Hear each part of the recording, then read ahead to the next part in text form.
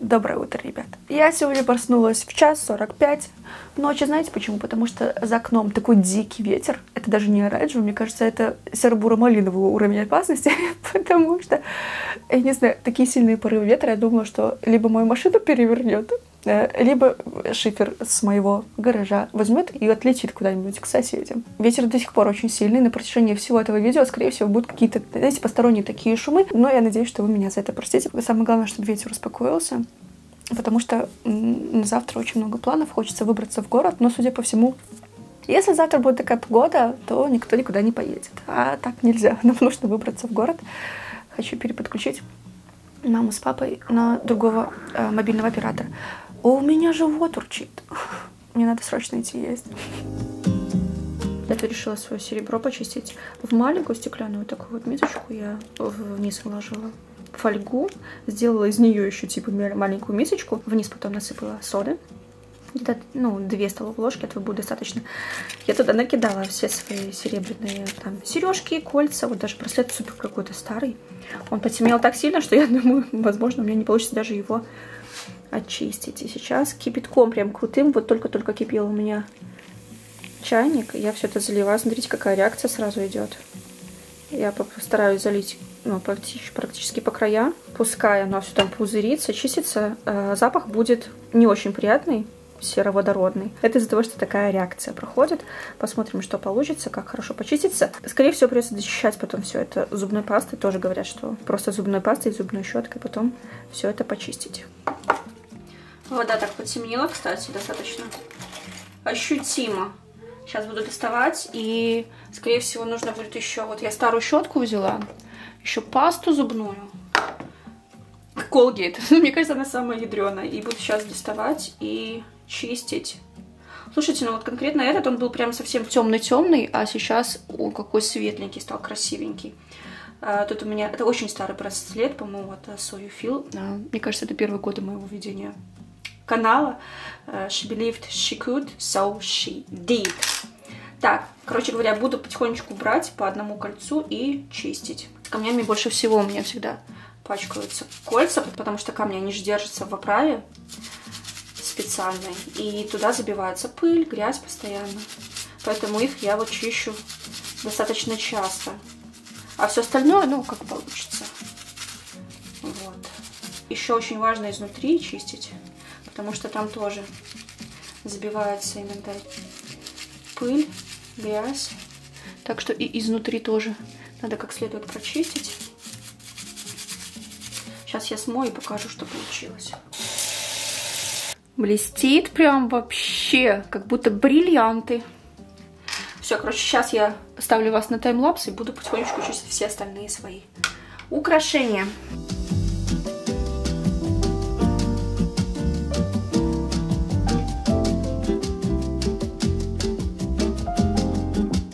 Я всегда более тщательно чищу, потому что конкретно серебряные серьги, и вообще, в принципе, серьги, если я не снимаюсь, но мне всегда серебряные серьги, и я их ношу постоянно, я их не снимаю. Никогда моюсь, никогда купаюсь где-то в бассейне, ни в баню, когда хожу, никогда сплю, то есть они всегда на мне. Моя любимая пара. Кстати, все сережки я покупаю офлайн в магазинах. Онлайн я чаще всего никогда не беру, потому что мне надо примерить на себя. И я практически всегда беру с английским замком, потому что мне удобнее всего. Гвоздики я не очень люблю.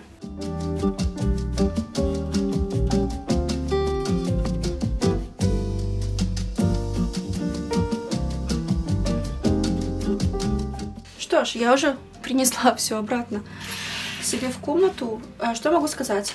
Вот это вот бижутерия, она куплена за какие-то совершенно небольшие деньги на Алиэкспресс. И я впервые подумала, что, а возможно, можно ее почистить. И я ее конкретно в соде с фольгой не замачивала, но я почистила щеткой зубной. И каково было мое удивление, когда вот этот вот налет темный я думала, что оно темнеет из-за реакции с кожей, и остается так навсегда, то есть такая перманентная реакция, но нет, я почистила, и оно посветлело, теперь могу еще пару раз надеть. Посмотрим, может, есть какие-то другие способы чистить конкретно вот такой бижутерии. Я пока попробовала только зубной пастой, мне результат понравился, потому что на самом деле посветлело, э, теперь уже блестит, вот, все остальное серебро я сейчас как следует высушу. Так, это бижутерия, это у меня бижутерия. Это я все уберу в отдельную шкатулку, а свое серебро, насколько это будет возможно, я положу конкретно вот в эту шкатулку. Тут все серебро мое как раз таки и хранится.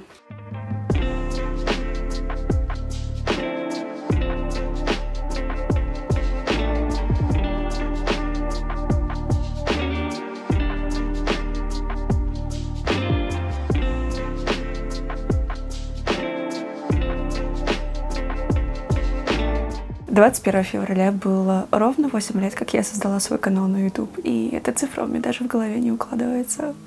За это время я сняла более 500 роликов на двух каналах Бубинита Hello It's Буби, и это был долгий и сложный путь, который я бы ни на что в своей жизни не променяла, потому что я нашла свое призвание, и это та работа, которая наполняет меня изо дня в день, позволяет делать то, что я люблю, то, что меня радует, и делиться этим с вами. Мне будет очень приятно, если вы напишите пару слов в комментариях о том, как вы меня нашли, как долго вы со мной, может месяц, может год, может вообще с самого начала. Мне будет очень интересно это почитать. Сейчас, когда я оглядываюсь на череду событий, которая ко всему этому привела, я понимаю, что есть один очень важный для меня человек, который и стал причиной того, что я вообще, в принципе, создала этот э, канал Бубенита. И это мой бывший муж, и я ему за это безумно благодарна. Вот в такие моменты я понимаю, что каждый человек в нашей жизни, он появляется не случайно. Меня иногда мотает даже сейчас из стороны в сторону, э, и я пытаюсь нащупать, какие бы еще сферы применения для себя найти в этом переменчивом мире. Пройдено столько курсов, Ребят, сейчас будем загибать вместе с вами пальчики. Парикмахерские курсы, курсы массажа, но английский это, это, это полезно, я его не буду сюда относить. Курсы перманента. Я даже научилась делать ламинирование ресниц. Я закупала материалы, расходники и даже пыталась пробовать применять это на живых людях. И, кстати, могу показать вам некоторые свои первые работы, только обещайте, что не будете смеяться, окей? Чем больше я думала о том, что мне нужно будет заниматься этим на постоянной основе, коммуницировать с живыми людьми, тем больше стресса и тревоги я испытывала.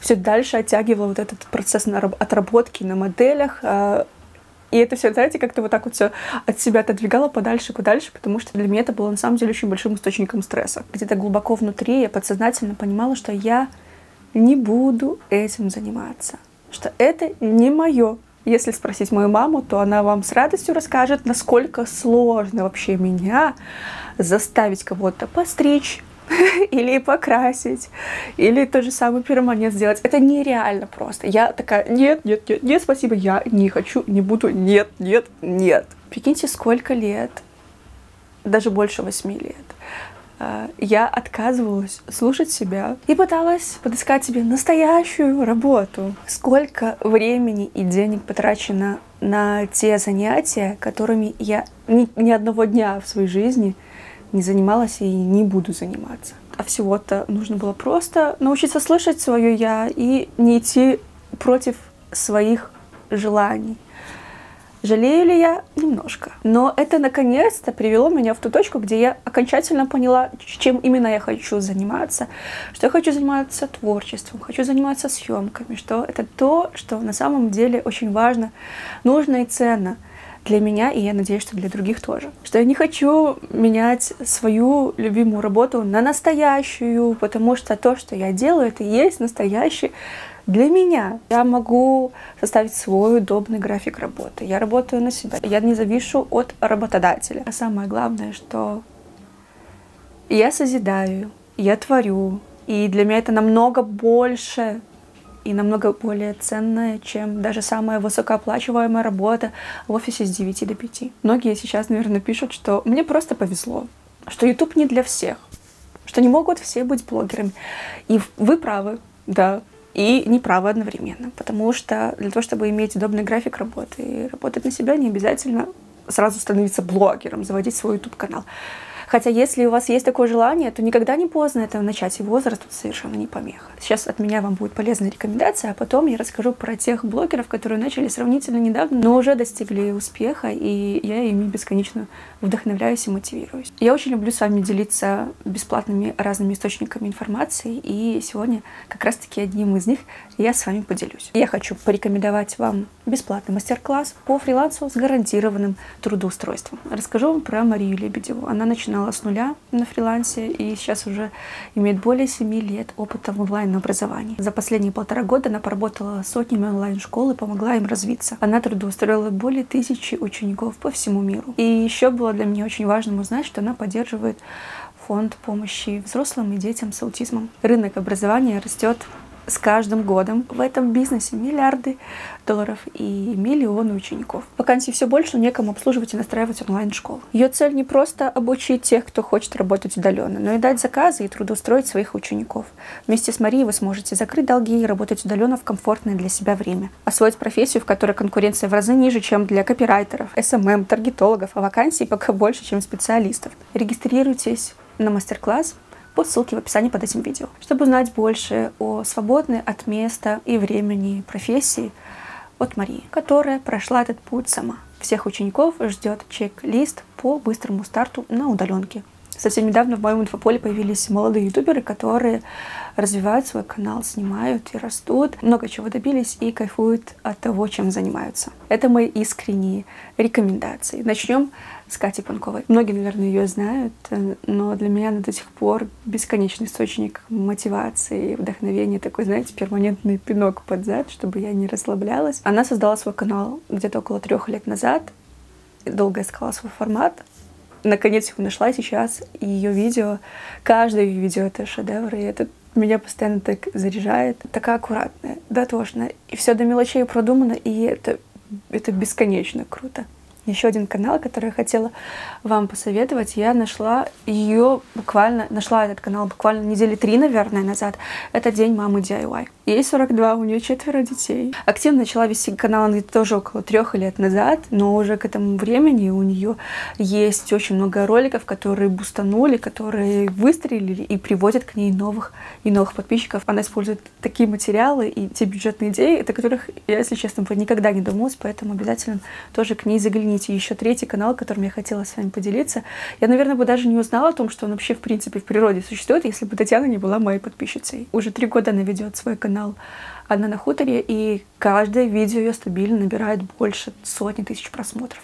Это безумно круто. Когда я смотрю на них, я понимаю, что абсолютно не важно, какой у тебя бюджет, абсолютно не важно, сколько тебе лет, не важно, какая у тебя техническая, оснащенная студия, э, сколько много крутых камер, софтбоксов у тебя есть. Это абсолютно не важно. Самое главное — это гореть тем, что ты делаешь. Самое главное — услышать себя, понять, что тебя зажигает, и делиться этим с людьми. Это считывается вот так вот, на раз-два. Надо найти свою искру и просто не опускать руки. Вокруг меня бесконечное число талантливых людей. И еще больше талантливых людей, которые просто боятся делиться своими навыками с другими людьми. Большинству из них не хватает веры в свои силы и в то, что они чего-то добьются. И если это поможет хотя бы одному человеку, то я верю в тебя. У тебя все получится, ты справишься. Я люблю вас, обнимаю, и этот день для меня очень важен. И я рада, что я когда-то услышала себя и начала делать то, что мне нравится. И не опускала руки. Ну все, разговоров на сегодня хватит, ныряем во влог. У меня еще очень много интересного, чем я хотела с вами поделиться. У меня с прошлого года остались вот такие вот семена лаванды. Перед тем, как рассаживать на рассаду, нужно сначала стратифицировать в течение трех-четырех недель в влажном песке. Сейчас мы этим с вами и займемся. Единственное, что я не помню, как семена вообще, в принципе, выглядят. Надо достать и посмотреть. Не знаю, видно вам или нет, но они прям малюпасенькие. Не знаю, что у меня, в принципе, из этого получится. В прошлый раз у меня нифига не получилось. А в этом году я уверена, что у меня все получится, потому что у меня прям такой боевой настрой очень по поводу всех саженцев. У нас целая огромная э, коробка с разными семенами. Я потом попозже вам как-нибудь э, покажу, расскажу, что именно мы будем сажать в огороде в, этом, в этот раз, в этом году. Я хотела вам пожаловаться. Я не знаю, ребята, это какая-то фигня. Я блокирую конкретно это рекламное объявление, вот здесь вот у себя. Я его блокирую уже столько много раз Облаки... Мы больше не будем показывать его, если вы вошли в аккаунт Google. Ребят, я вошла, я вошла в аккаунт Google. Мне его каждый раз показывают. Серьезно, это меня бесит. На этом видео вот а, Кати и Вани, он уже второй раз выскакивает. Хотя видео такое короткое. Конкретно именно эта реклама, она меня просто уже раздражает. Я взяла две баночки от вот такого вот творожного сыра. В одной у меня влажный песок. Сейчас я достану семянушки. Написано, что их нужно смешать семена вот эти с влажным песком. Я думаю, что так много мне, вот прям целую бадью такую не нужно. Я сюда отсыплю немного. Так, чтобы дно вот так вот прикрыть. Семена сейчас я высыплю вот сюда вот на белый стол. Тут хотя бы будет видно, сколько их и сколько мне нужно будет потратить. Я думаю, что половину от этого пакета я возьму и использую. Посмотрю по схожести, сколько взойдет. Вот такая вот маленькая кучка. Пополам это все поделим. И сейчас я вот эти вот все семянушки. Так удобно, когда клеится на пальце. Вот сюда вот просто возьму, вот так вот насыплю. Чик-чик. Чик. И смешаю. Честно, я боюсь, что песка многовато все-таки. Знаете, что я решила сделать? Я, короче, решила поделить пополам семена. Залила сейчас все это перекисью водой. Это просто я решила, знаете, так, а, а пойду-ка я погуглю или на ютубе посмотрю, как вообще, в принципе, люди семена лаванды стратифицируют. Там некоторые замачивают в перекиси водорода. Вот сейчас надо, чтобы минут 10 она полежала у меня там. Потом на ватный диск набирают, вторым закрывают и укладывают все это в мешочек и в холодильник. Поэтому у меня будет два варианта стратификации, что из этого выйдет, что из них, и какой из них лучше сработает, я не знаю, но попробовать стоит оба варианта, поэтому сейчас ждем 10 минут, а потом я вернусь, мы вместе с вами все это соберем и упакуем. Третий раз. Третий, черт возьми, раз.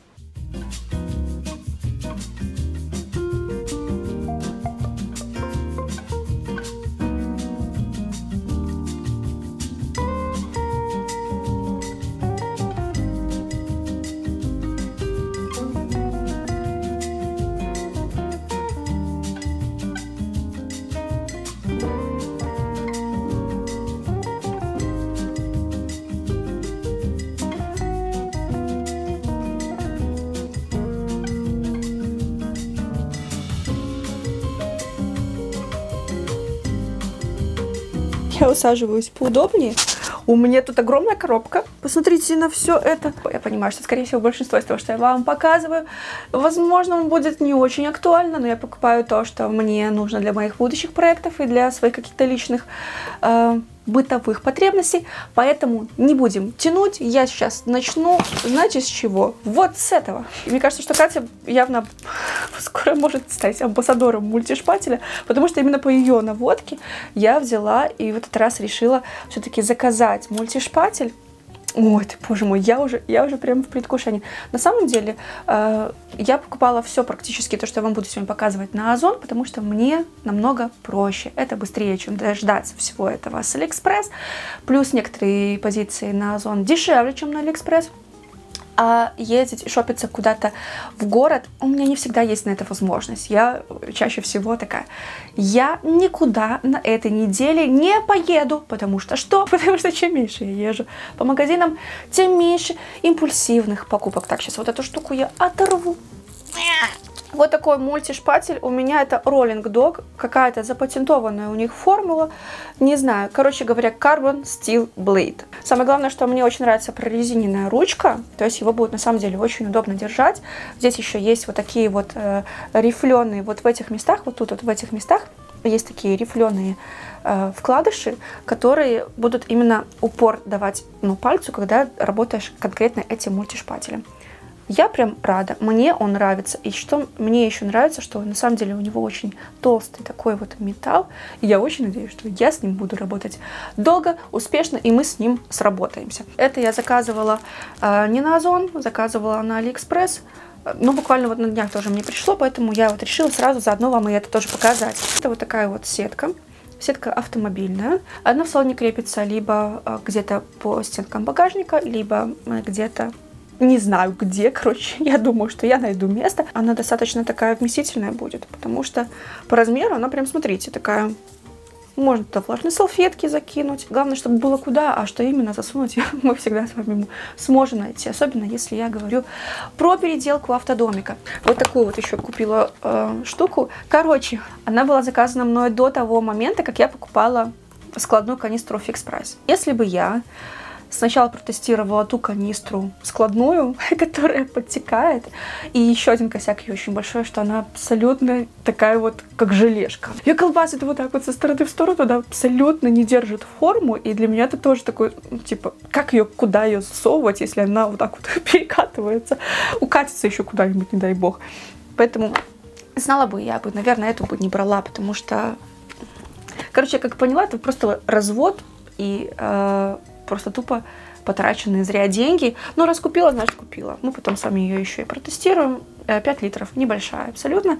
Возможно, просто для экстремальных каких-то случаев, когда нужно будет куда-то, где-то откуда-то набрать воды, а с собой огромную канистру утащить не хочется. Дальше, что хотела вам показать, это вот такой вот держатель для телефона. Но он только для телефона и подойдет, потому что у него размах прищепок очень маленький. То есть я сначала думала, может вдруг еще и планшет, но нет, только телефон. Во-первых, это классная штука, если, допустим, что-то хочу с телефона снимать над столом, потому что вот здесь вот на эту клипсу, эту клипсу я куда-нибудь могу надеть и вот таким вот образом, зафиксировав телефон, могу снимать над столом. Именно на телефон, не на камеру. Это если я захочу делать какие-то вертикальные видео.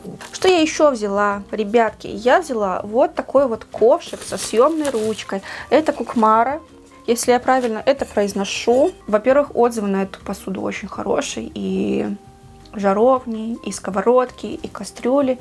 Очень много классных отзывов именно на Озон. Плюс мне понравилось, что здесь съемная ручка. Во-первых, это можно спокойно использовать дома, ну плюс к этому, если в какие-то поездки или в походы вот так вот это все э, можно, ну, как бы разъединять, и меньше места будет занимать, а внутрь сюда можно складывать потом какую-то посуду, либо еду. И все это транспортировать без, ну, то есть, как бы, если бы оно была монолитная такая конструкция с несъемной ручкой, это было бы немножко более массивным, и сложно было бы куда-то воткнуть, то есть, чтобы нормально транспортировать. А так она со съемной ручкой, плюс еще здесь вот такая вот в пырку упакованная стеклянная с металлическим ободочком крышка. Идеально, мне кажется. Идеально. Тут есть защитная такая вот пленочка на ручке, но я не буду пока снимать, чтобы она не царапалась. Исходя из ее каких-то визуальных э, особенностей, мне пока нравится, потому что она достаточно крепкая, такая увесистая, знаете, э, не вот эти вот э, сковородочки, которые ничего не весят и, ну, Тут тоже, знаете, сомнения такие возникают. Но раз она такая легкая, значит, там совсем практически нет металла. Ну, короче, у меня вот чем тяжелее посуда, для меня всегда это больше плюс, потому что я привыкла дома к чугунным сковородкам. Они такие, знаете, одной рукой иногда и не поднять. Вот, поэтому я всегда больше доверяю той посуде, которая достаточно такая основательная и увесистая. Дальше идем. Вот что я купила. Вот это вот для походов, для каких-то э, поездок. Именно, э, ну, типа такой походный вариант. Это литр, по-моему, если не ошибаюсь. Я ее, в принципе, брала для того, чтобы использовать ее еще и как чайник. Ну, то есть, как бы она идеально для маленькой плитки э, портативной подходит, вот этой газовой. Вот, тут носик, чтобы наливать э, воду в чашечки. Плюс тут есть крышечка. Я искала сразу с крышкой. Возможно, кто-то скажет, что лучше было бы брать что-то из нержавейки, но я хотела попробовать конкретно это.